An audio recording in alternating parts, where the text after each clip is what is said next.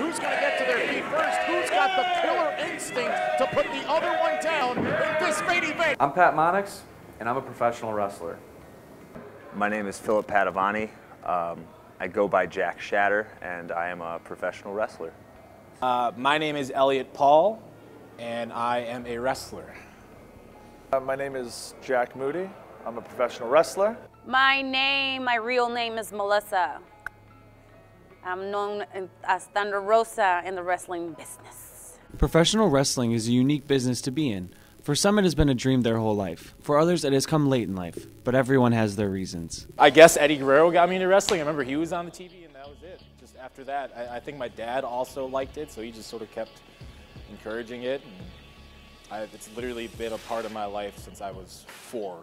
Big thing that really got me into wrestling was I picked up at the store a Shawn Michaels Boyhood Dream DVD that just kind of like uh, gave you the synopsis of the year he had leading to his first WWE title run. Had a lot of the matches, so uh, that's what made me really like kind of want to like made me love wrestling, like in the same sense that I loved like basketball because of Michael Jordan. I liked wrestling because of Shawn Michaels. Um, so that's what got me into being a fan. I loved it as a kid during late 90s, early 2000s. Loved Jericho and Austin, you know, those big characters. And uh, in 2000, fell out of it during high school. And in like 2013 or so, I, uh, I did a comedy show based on the world of pro wrestling and started watching again because I wanted to be good on the comedy show and then just decided I love this more than doing comedy. So you know, I was I was going through a lot of you know, um, whenever ever, ever since I was a little kid, you know, I, I always thought I was a little bit different, and I was bullied a lot. I was bullied a lot in like elementary school, junior high school, and um, something that always brought me like you know like helped me escape from that reality was like you know Monday nights and Friday nights which was like wrestling and I'd like sit down in my basement watch wrestling like want to be like them look like them work out and you know like have that charisma so um, you know over the years I kind of just like morphed into like this wrestler role and like now I'm standing here you know working in front of crowds so it's it's really cool to see you know where this journey in life has taken me. Into wrestling was I was very depressed uh, after college. I was working in a uh, was it a rehab facility? I don't remember. It was either in a rehab facility or I was working as a counselor uh, with kids that have a lot of mental health uh, disabilities and trauma. So I I was doing kind of like wrestling, but a therapeutic wrestling. You know, you have to restrain the kids once they escalated. So it was really stressful. I started watching um, local indie shows in Oakland and I just got hooked and one, there was opportunity for me to do a tryout and my husband suggested that I was really good at doing sports, which I didn't believe it, but I tried it and I started training and that's how I started. Every career begins with training, but wrestling training is different. Mine in Pacifica, California. My original trainers were uh, Dylan Drake and Matt Carlos. But I train, but I've been trained by a lot, a lot of people in different parts of the world. Trainer, initial trainer was, it was a mix of people at a place called PCW uh, in the Chicago area. They're no longer in business now, uh, but uh, Jared Priest and um, uh, like that was the main one. Jay Phoenix as well was also a trainer there, and then uh, then trained with Jared Priest again at Crash Chested, Bryce Benjamin, and then uh, have spent quite a bit of time in Germany training with Walter at WXW. So I was trained slash still trained with uh, Steve Boz, uh, Chicago style wrestling uh, wrestling school. Um, a lot of a lot of guys that you saw there all started uh, with Boz as well. Um, you know, I've only been doing this for nine months, so um, you know I'm excited to see um, you know other other opportunities to learn. So, but a lot of it I've learned from Steve Boz, and he's been uh, absolutely incredible help uh, to get to where I want to be. So. Uh, my training was interesting. I'm trained by a lot of people. I'm, I feel like I'm still training now. Uh, I started at the uh, Chicago Style Wrestling School in uh, River Grove. I was trained by Steve Boz and Willie Richardson for a few months maybe like three, four months, and then I was trained by uh, Kevin Quinn. He started training there. Kevin Quinn, who uh, is the former trainer of like the New Japan Dojo in LA. He's a he's a gem. He's a gem and a wealth of knowledge. Uh, spent time with Bryce Benjamin. He trained a lot of people in Chicago. Uh, spent a lot of time with Matt Cage, uh, the wrestler in the Chicago area. And now I'm just picking it up from everybody I, I run into. I'm from the Chicago area, but my parents moved down to Florida. And when they moved down to Florida, it was around the time I was like ready to get into it. And I found a school around Tampa. I got trained by a guy named Frankie Reyes uh, with the help of a guy named Tony Devlin, uh, a company called DWI. And once that was done, I had my first match with this guy named Prince Iaukea, who used to wrestle in WCW for uh, a while. And he, uh, it went really well. Second match didn't go very well. I, I probably had like 10 matches down there. And uh, other than that first one, like none of them I was really proud of. Uh, so when I moved back to Chicago, I was just, I was just there for like the summers and winter breaks during uh, school. When I came back to Chicago, I sought out more training. Uh, a guy named Bryce Benjamin has a company or a uh, training school in Chicago. So I got trained under him. Basically took a year off from wrestling matches to get like retrained by him and take my game to the next level and be the wrestler I knew I could and should be. And yeah, after that, I hit the ground running again in 2016. So my first matches were like 2014. I kind of took 2015 off for training. So that's my story with training. Uh, funny stories from my training. It's all funny, man. This is ridiculous. We're all learning how to fall down and hit each other. This is silly. It's all very, very funny. To be uh, frank, not not everyone could do this. So we, we, we kind of call it like a revolving door because you'll see a lot of people come in and start and then they like they, they, they leave and then like some new people come in. So there's like a core group of, of guys that'll stay there train practice and make it through and get their first match. But uh, a lot of it is a revolving door of people you know coming to the realization that you know it's not it's not for everyone. Heat night uh, heat night and uh, hell week. So it, it was very old school uh, over there. Like we had to um, do two weeks of nothing but conditioning before we got in the ring. And we usually had like 15 people signed up, they paid their money and stuff. By the end of Hell Week, we had like five or six because everybody will be dropping out. They were super out of shape, everybody be vomiting. And what I did was I outrun everybody and I would like be like waiting when everybody was just like, oh, it hurts. And I'll just be like, no, it doesn't. and also, I kind of enjoy them see, I enjoy seeing them suffer like. And then hell, I mean, heat night was one day teaching us how to hit each other um, and uh, just uh, being safe. And everybody will hit you in the class. And then like veterans will come and hit you. So, well, that's not funny, but I just remember like one time my coach was like, he grabbed my neck and he's like, I love you boom, and he hit me in like right on the neck, and I just saw stars, and I was just like, I wanted to cry. My eye was getting teary, and my husband was like across the ring, and he's just like, don't you dare to cry, don't you dare to cry, and I'm just like, and then everybody's hitting me. I was like, oh man. Okay, after uh, it was, I've been training for like six months or so. It was just after I had like my first or second match. Uh, they had uh, the place I was training. They had initiation essentially to where without telling me, everybody everybody that was training that was had still been working regularly and that were kind of considered vets decided to they it's the initiation was they just go in and they call a whole bunch of spots and moves and you just take all of them. So I took everybody's signatures and finishes and whatever fucking move they wanted to try for uh, for a good 10 minutes of just taking like I was laying flat in the middle of the ring, just taking frog splash, uh, you know, uh, swanton, uh, and then like get up 3D like for no reason. It's two people that didn't tag, just like take a 3D. So just got I just got beat up for 10 to 12 minutes, and then afterwards like they're just like, you're in the business now. Like all right, I just I mean I've already had two shows.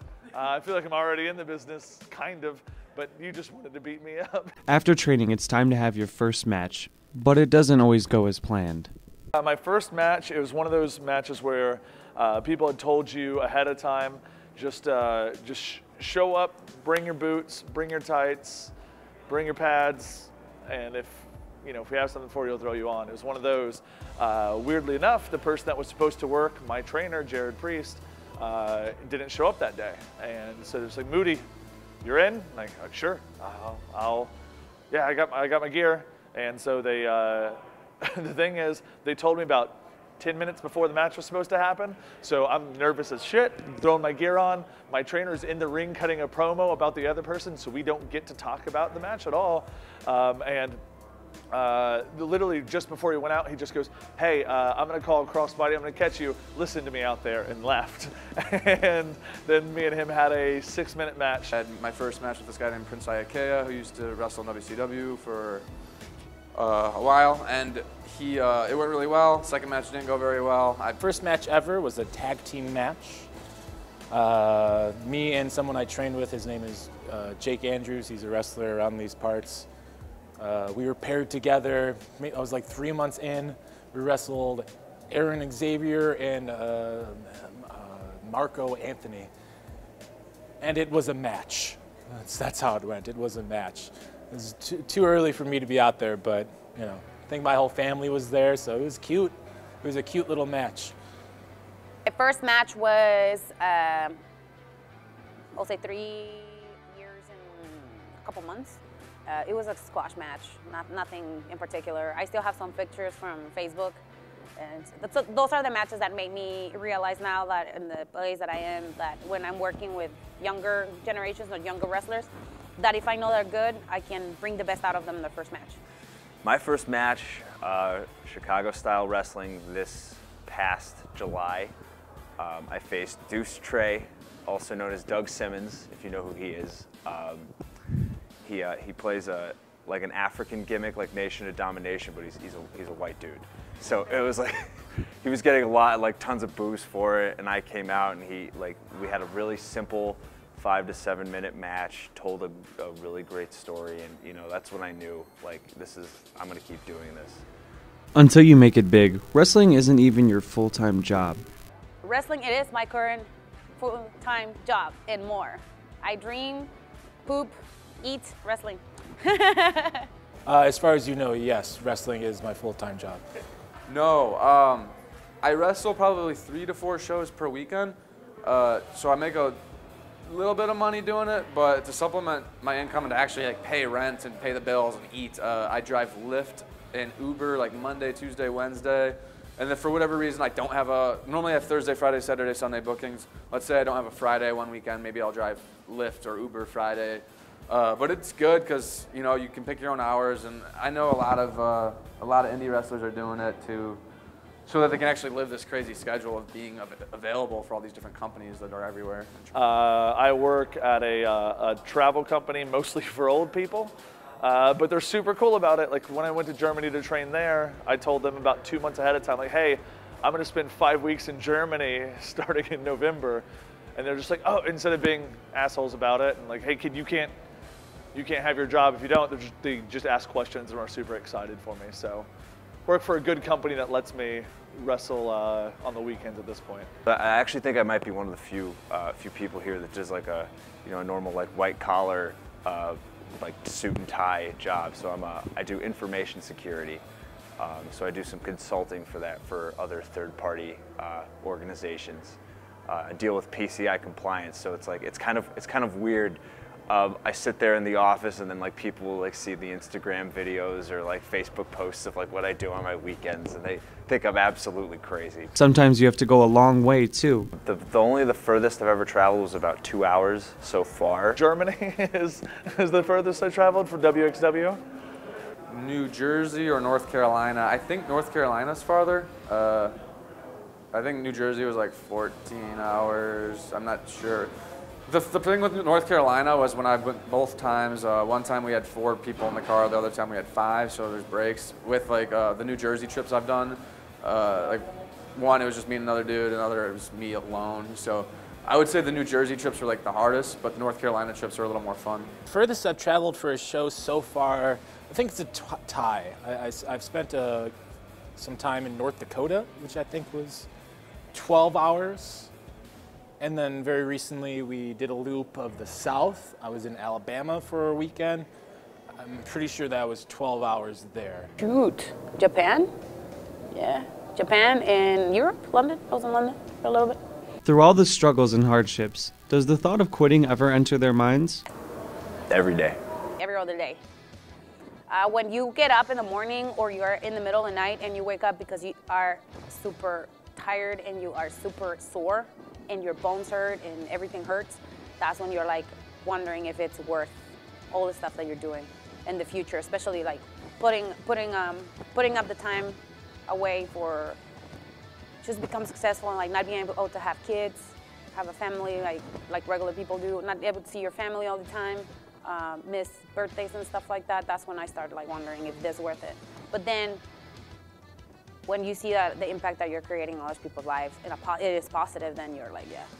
I've Not yet considered giving up on wrestling. I don't know what else I would have to do if I gave up on wrestling. seven, eight years from now, like I'm at the same point, like my body will be breaking down by that by that point. And if I'm not getting a hefty paycheck to make it make it worthwhile, I'll I'll stop. But it's it's so much fun. It's the best. I don't think so. I mean, I think like, I think every wrestler has those days where they wake up and they're like, man, this sucks. I don't really want to do this. But I never like seriously considered for more than like a couple minutes like that I didn't want to do this. I, I when I uh, when I decided to pull the trigger on attending my first day of wrestling school in Florida and I was like, I'm gonna do this. I I had this kind of weird moment with myself where I looked in the mirror and I, I said to myself like. I don't think I really said it out loud, but like I verbally like, or I uh, didn't verbally say it, but I looked at myself in the mirror and was kind of like, if I'm gonna do this, I know where this story is gonna have to end, and it's not gonna be on the indies. so, who knows? It might end on the indies. It might end tomorrow. Uh, but I have an idea where I want to go with this, and I'm not gonna stop until I get there, or at least I'm gonna go down swinging. Uh, most most trying time for me was just getting started, you know, uh, and realizing you're not good. you know, like first like couple months into wrestling and you're not like a superstar like you you know you, you want to be and you're like you're self-aware that this isn't easy and it's not doesn't get easier quick. That was the most trying time for me when I was like, I don't know if I could do this. But, you know, kept going and here I am. Trying time. I think a lot of it is just the uh, the training. Like if you don't to really do well, and I feel like if you ask anybody that is doing well, whether they're you know whether it's AJ Styles right now or it's somebody that's just making a name for themselves in the indies, it's the people that train on a regular basis that nobody sees. I think it's the uh, the three or four hours uh, you put in every other day in the gym or training. That's where uh, that's where a lot of it is. Just being able to like do your fifth time where you're doing a 90 second uh, a plank where you just want to fucking die. And like especially all of us mo- most people that are training have full-time jobs. You work a full-time job you're mentally exhausted because you worked your full-time job all day and then you go and just bust your ass for two hours in uh, training to get better and you do from that. But that's that's the hardest part. It's just really putting in that work that nobody sees.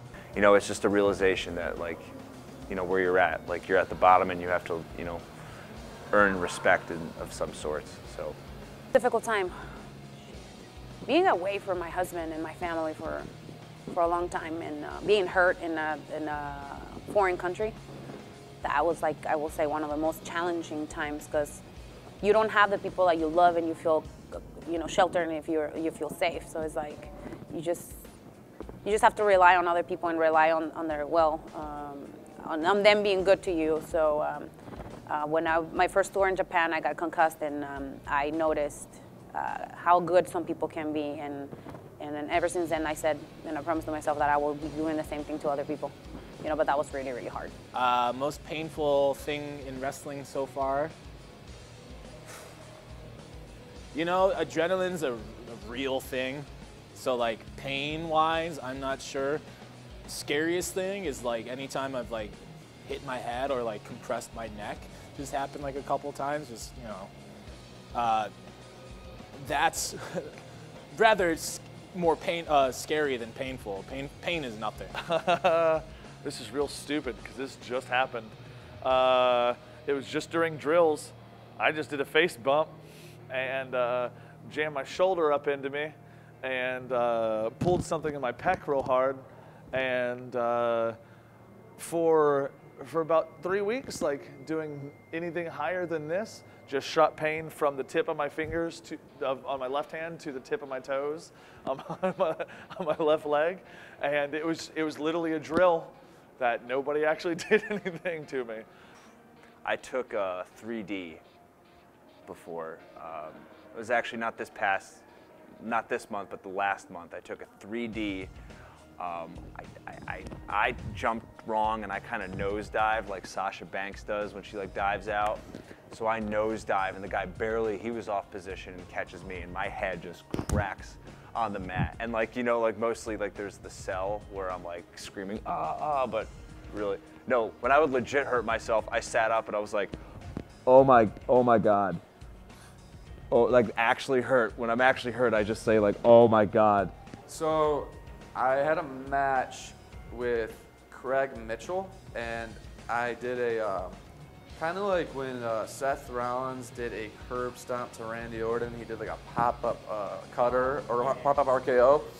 Um, I did that with Craig Mitchell once at a, a Galley Lucha Libre show, and it went perfect. Got way up. He caught me, but instead of doing an RKO, he did a uh, curb stomp pop-up power bomb, sit out power bomb. It was perfect. It was awesome. Got tons of hype. Tried to do it again. I go to give him a curb stomp at a underground show, and instead of going up, I went up to the side. So when he caught me and put me down, it was just all head to mat. so that might have been it. That was definitely like a serious concussion. I will say when they chop you, that hurts. Like it depends who chop you. Like that hurts. That or the forearms on the face, forearms on the neck, some really stiff kicks. Uh, I would say shots. Those when you're like with shooters and stuff, that's pretty painful. But when you make it and the crowd goes wild, there is nothing like it. Biggest fan reaction I've ever received was it was uh, at a company called GPW, where they're uh, every show they have a battle royal and I had underhandedly won battle Roy- the battle royal eight months in a row, and uh, just was just a real cocky asshole about it. And somebody, the elimination, me getting eliminated by somebody that was an underdog the entire time, and uh, I did everything I could to just. Uh, you know, low blow them, rake the eyes, pull the hair, everything I could, and they got me out. And the crowd reaction when uh, when I lost was probably the biggest one I got. After a good eight month run as champ, losing it was the biggest uh, biggest pop I got out of that. Kaiju Attack Wrestling was nuts of 300 people. Um, it's some bar in Berwyn, and I, I walked out and they just they they blew up. So um, it's pretty awesome. Our biggest fan reaction, uh, freelance wrestling, probably the hottest uh, wrestling crowd I've ever been in front of. And once I started to build up steam there, getting those warm receptions every time we walk through those curtains, that that's unlike anything. There's nothing like those crowds. They're, it's just a damn party every single night. I don't know if that was like the biggest or loudest reaction, but it really caught me off guard because like there, you know, there were guys that like Colt Cabana on that show getting like a, a similar reaction, and I, like when I came out, I was re- I just really caught off guard. I was like, okay, maybe maybe I'm onto something here. I don't know. A lot of people in my shirts, I saw signs, and I'd never like felt that before. Where I was like, wow, there's there's a fair amount of people who came here to cheer for me, and that, it just caught me off guard, and it was like really very very humbling. Ooh, I will say my last show in Austin, Texas, when um, we had our first intergender show in the state of Texas. My husband and I, we own a promotion out there. Uh, and at the end of the match, uh, everybody was like on their feet and like chanting my name, and I was just like, I was literally crying. That was like a like a kind of like a WrestleMania moment, sort of, because it, it, was a lot of work and it was people took it really well. So uh, I was really happy for that. The business is a crazy one. Like any job, there are bound to be some funny moments. It's it's all of it to, to me. Uh, as somebody that comes from uh, a comedy and entertainment entertainment background, uh, that's something I constantly want to engage. If if I'm spending, if like I'm if I'm up on top at the time and there's three or four seconds where I don't hear the crowd, like I'm going to go yell at someone to get the crowd back. Like there's not going to be anybody looking at their phone on my match. That's my goal. Um, I do stand up. My stand up is if I don't get a laugh every 15 seconds, I'm not doing well. For a match, if I'm not getting, if I'm on top, I'm not getting a reaction every five or six seconds, I'm not doing my job. So the crowd reaction is literally everything. They're the ones paying the tickets. They're the ones that eventually give me the money and give me the opportunity to do this thing that I love to do. Uh, if they're not reacting one way or the other, I'm not doing my job right. Uh, it's a it's a huge it's a huge part of it because why like wh- why am I working in front of people? Like I'm supposed to entertain. So me seeing anything from a, like a loud like ver- verbal reaction or like you know seeing that they're engaged and not on their phones and or smiling, frowning, like if I'm getting some form of emotional response, um, that's that's about all of wrestling to me. If I'm new to the company and then um, they don't get any reaction, it's fine too. It's like what happens at the end when they come out to you and they're like, "Oh my God, I never seen wrestling, and from now on, I'm gonna be your fan. I love what you do. I don't understand wrestling, but I love you." That's for me. That's the reaction that I want. The, the travel stories I keep I keep to myself because there's a couple crazy ones. There's in Germany, uh, there was far too many nights with me and a wrestler who's in, uh, based out of Philly now named Jackson Stone, uh, where we spent, we would be out at the German nightclubs don't close until they decide they can't make money anymore.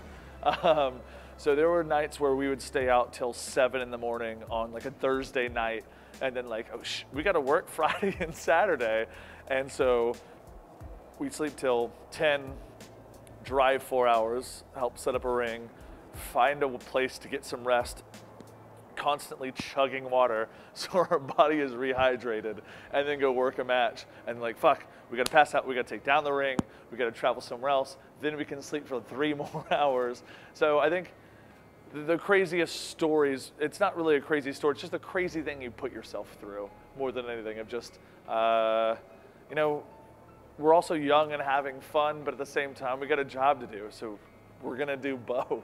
It's all crazy.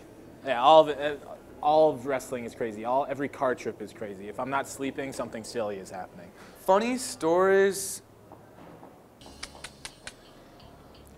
I mean, when you get into indie wrestling, the people involved are just funny overall. So there's a lot of funny stories, uh, but I think it's more just funny people. So you just meet a lot of silly people and run into a lot of funny situations. I got nothing off the top of my head, like no like uh, Randy Orton pooping in someone's gym bag stories, nothing like that. And oh yeah, yeah, yeah, yeah. That one time I was like, I was a volunteer, and these two girls had a match, right? And they went like for real. They were fighting outside. The match was over. They ended up short. They came back in the back, and they were for real fighting. They had to pull them out. It was. I was just like, damn. People need to calm down. I see myself in two or three years uh, being able to have it as a full-time gig. You know, to where uh, I can. Right now, one of the main reasons I have the job I have is they provide really good health insurance, and uh, wrestling's a tough business. And if uh, I throw my back out, you know, if instead of me just like jamming or pulling my pack, I tore it, I need surgery. Uh, I need something to cover that. So make doing well enough to where I could afford that, I think, is a big part of it. Being able to live still a comfortable life and enjoy the life that uh, enjoy wrestling and enjoy the things I want to do. That's what I want to be in two or three years. It's it's hard to say where I I think I'm going to be in a few years. I, I didn't know if I'd make it this far, so I, I don't even like to speculate on where I'm going to be. I just I'm just going I'm riding the wave. I definitely see myself being more uh, uh, of a teacher to uh, some of the girls in, in Texas. That's the reason why I moved. Um, I really I, I love coaching, um, but uh, right now I'm just going with the flow. I, got- I have a couple of, of goals in mind. I want to work for ROH. Uh, I want to work for some promotions here in the United States. I want to go and travel back, I don't know, to London again to work on some promotions, Australia, uh, hopefully uh, wrestle one more time in my city in Tijuana. And then from there on, I just want to coach and, and focus more on like my, my career, what I was doing, either social work or maybe personal training because I love fitness. Uh, my ultimate goal, my ultimate goal in wrestling is just to finish up and be proud of myself. You know, I'd, I, you know, just be proud of my craft. I don't know what the highest point is. I'd like to get to that point, but man, I just want to look back at this, you know, rather unscathed and happy with myself. I don't see myself getting to uh, you know, Ring of Honor or New Japan or anything, but you know, I, I, I could see myself, you know, building a brand and you know, hopefully selling shirts and you know, making some making some side cash, some real side cash on the side. was just a, wrest- a wrestling fan. I, I just remember sitting there and watching, you know, Shawn Michaels on his knees holding the belt, and I remember watching CM Punk uh, win uh, Cena's belt at Money in the Bank, and like, for me, like, I want that moment at the end, like that that storybook ending. Um, so it, it's not necessarily me winning the WWE Championship, but it's being a top player in the largest company in the world for wrestling. So whether that means being in the main event of WrestleMania, I think that's the way I would summarize it as. Uh, that's the way I look at it. I think, I think if you're in the main event of WrestleMania, that's a better spot than being the WWE Championship because I'm not really that big on like belts. But the first goal, obviously, is to make a living as a wrestler. So my first huge milestone is like I want to be doing this for a living, whether that's on the Indies, whether that's WWE, whether that's in a different country. Um, we'll see, but that's the first goal, and then we'll worry about that other goal that's a little farther. But that's where I want my story to end.